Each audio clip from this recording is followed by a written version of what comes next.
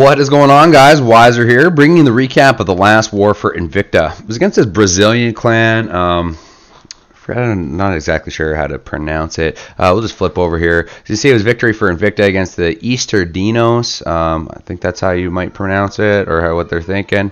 Uh, but yeah, 20 star victory for Invicta. Really brought the heat in this war. Was very impressed. Um, you know they they really didn't stand a chance. Even if even if uh, the start the three star count was higher for the Easter Dinos, uh, Invicta seriously brought the heat. Um, just quickly roll through what they did, so you can see they missed quite a few of the nines. Um, really struggled on that overall three star count. Uh, did get all the tens except for Morrow, got a one star on that one. Uh, as you can see, three star count was 25 to 5. So Invicta, really good job, guys. Three Town Hall 10 triples and cleared the nines. So Beautiful, beautiful job, guys. Well done, Invicta. Um, I do just kind of want to hop in uh, and get some of these replays shown here. Uh, definitely going to show you these uh, TH10 triples. So we're going to start with Dude here, number five, hitting number two. Um, so no joke of a base, right? All max town hall defenses. Um, you know, uh, nothing to scoff at here. I mean, 25, 24 heroes, not nothing crazy, but uh, again, dude only has 31 queen, 34 king, right? So he sends in that giant, buys king a little bit extra time. Um, the wall breaker never made it through, but the king's just going to rage up, beat through that wall. As soon as he does, he's going to lock right onto that queen. And he goes. Down goes the defensive queen. A couple swipes. There it is. Air defense goes down. Beautiful. Kill squad's job is done. CC troops are pulled, but it doesn't matter. Dude goes ahead and sends, drops one lava hound on each of those air defense, starts sending in the loons at all angles, just three per defense. Um, sweeper does give him a little bit of trouble here, but the haste go down, really just going to get a huge push in onto that Inferno. Uh, goes ahead and drops another hound in on that uh, that air defense. He's got a full hound. That other hound swapping over now too. Takes a mine though and bursts, but the freeze goes down over that Inferno crossbow and Tesla, so great value there. He's got huge clump of balloons now. He's about to rage it up. They're going to rage onto the crossbow over to the other crossbow. He's also going to drop another freeze. There it goes, locking onto that, uh, locking on that crossbow next. Once that sweeper goes down, he's got another pack of balloons coming in from the backside. So I mean, at this point, the base doesn't stand a chance. Got two more lava hounds here that are unburst. Is it two or one there? Maybe I'm blind. Yeah, there's two.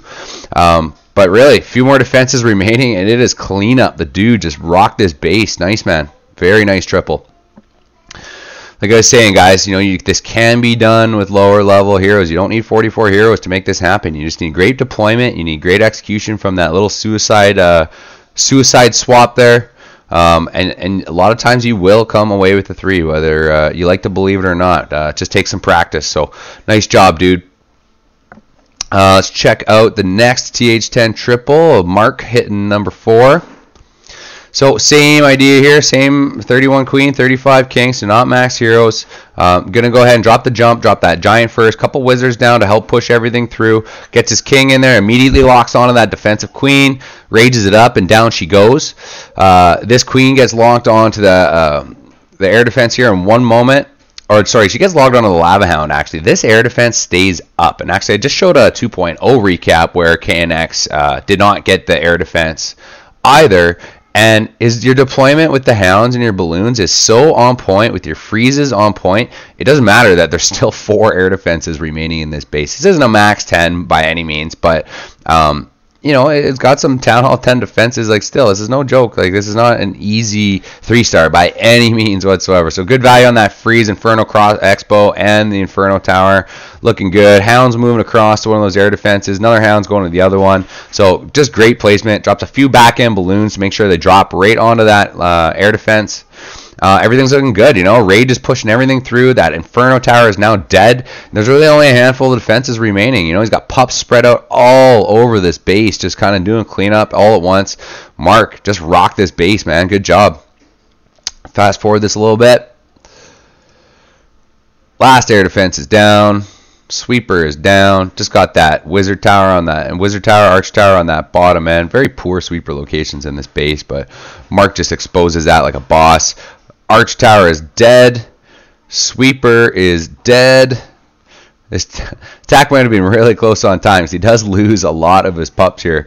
Look how close this was. Another second with those pups and it was over. But uh, Mark pulled it through. Nice job. And Mark actually had a six-star war. So we're going to check his other TH10 triple here. This one, I believe he does get the air defense, so it goes a little more smooth. Again, kind of a very, you know, mostly Town Hall 9 defenses in here other than the uh, Infernos. Even the crossbow or X-bows are still level 3. It does have a level 2 one there as well. So not the greatest of bases, but these are the types of bases you're going to see in, uh, you know, your random clan war matchups. Uh, that you can get shots on. I mean, I've mentioned before, you, you probably don't want to be going for triples on tens unless the nines are cleared. Uh, that's definitely not a good idea. But if you're just looking for some practice, this is the way to do it, guys. Hero swap. Make sure you get an air defense, and you take out the queen, and you get the CC pulled out, and then you send in a quad Lalo just on the remaining air defenses and hastes. Here, here come the hastes. One and two, pushing everything into that core. He's got a rage and three. He's got a rage that's going to go down with these two freezes. Going to get huge value on these freezes. Boom, there goes the first one. Doesn't quite get those Teslas, but has another one for this back end Inferno and crossbow and the two Teslas. So awesome value on that freeze. All the balloons are on top. Inferno Tower is down before the freeze even wears off. Takes out that crossbow just as the freeze wears off. Couple, really, there's an air defense, arch tower, uh, cannon down here. Not much remaining of this base. It is cleanup. Mark with the six star war, some beauty Town Hall 10 triples. Really nice, man. I like to watch these. That's your three. Beautiful. All right, had a couple 10 on 9s I wanted to show you. BBJ had a beautiful attack here. was watching this earlier. It's kind of a Govaho with Earthquake. Uh, so he's going to start around the 6 o'clock position. Yeah, there goes his golem. He's going to send in a Shattered Entry, kind of create his funnel here. You always need that super wide funnel when you're bringing Valks. So goes ahead, goes ahead and creates that. In a moment, you're going to see this earthquake go down. He leaves these few buildings up. This this one specifically and this Tesla, so that when he drops his Valks right here, they're just going to go right to that Tesla and then into the rest of that base. Um, you don't necessarily have to have the hugest funnel with Valks, but what you do need to Oh, excuse me, sorry guys. Uh, what you do need to have is the, those breadcrumbs that are you're gonna draw your Valks straight into that base, and once they're in there, that's good. You, know, he's looking looking golden. Drops a heal for those Valks, which is nice. They're just gonna take out a huge huge more chunk of this base and goes ahead and sends in the hogs. His hogs he wants to wrap up and around this base. Um, as you can see, he's taking out a, a, bomb right there. Is that were there two bombs there? Hard to see. Um, but really, he's looking pretty solid at this point. Drops the heal a little bit early. Wants to keep those hogs in. He's going to reinforce. There goes one, two. Sending a few more. I think he's going to send in four more on that archer tower. Kind of keep everything move, moving through this base. Crossbow goes down. Air defense is about to go down. There, there go the rest of his hogs on that arch tower. He just wants to keep forcing everything back to this kill squad. Uh, no heals remaining, but you already got a few. You got a cleanup wizard on this outside, which is perfect, right, guys? When you're placing your cleanup wizards, look, he's got one on this outer defense, kind of like a ring of trash on the outside. He's got a wizard on either side, and that's that's how you want to drop your cleanup troops. So these hogs barely make it through to this this last archer tower. They're going to turn onto this king, uh, really try and take out the king, but I think the king ends up taking more.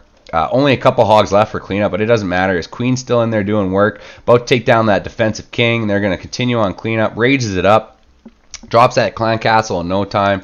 Nice attack, BBJ. Great placement on your cleanup troops. Great, uh, great entry with those Valks. You know, you really left that breadcrumb for them, let them work in there, and, and gave them the heal they needed. So beautiful job. Nice one, BBJ. And one more. What do I have? We'll go down to the bottom of the map. I know you guys like seeing the diversity uh, on what I'm showing on the war map. I haven't shown one of kickbacks attacks in a long time, so I wanted to show KB here. Bring in a little queen walk with a shattered goho. Uh, goes ahead and drops his queen. Three healers at this top section. He's basically going to try and get this whole top area. Um, there is, I believe, a double giant bomb right where that king is standing right now. So his goal is take out all these defenses, including that air defense. As soon as that air defense goes down, this double giant bomb is now pretty much null and void because no hogs are going to path back and forth there. So he's looking good. So as you can see, queen walks going in. He's already sent in his golems. He's creating this huge funnel.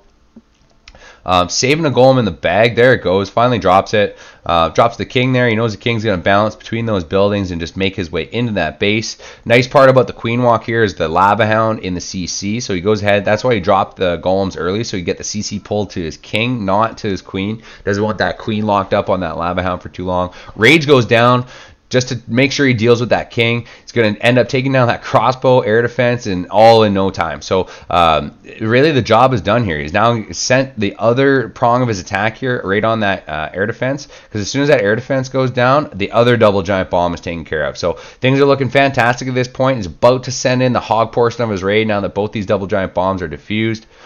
He's going to send him in, I believe, from the 3 o'clock spawn here and just kind of wrap him into this base. He's got two heals for them, so that's good. There go that. There goes the other double giant bomb set, and right on cue, here come his hogs.